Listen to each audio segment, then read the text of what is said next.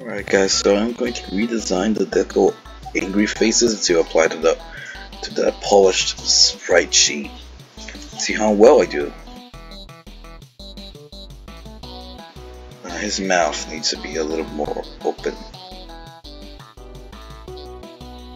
Okay, now I can erase the rest here. God, it will look so different on gameplay my art style looking like Foxy Boxy's art style.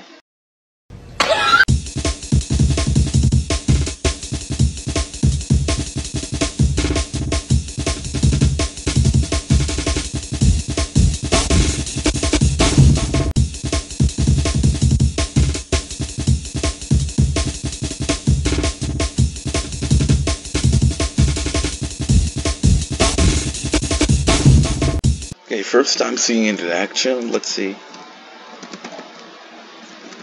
Okay, this is kind of mid, to be honest.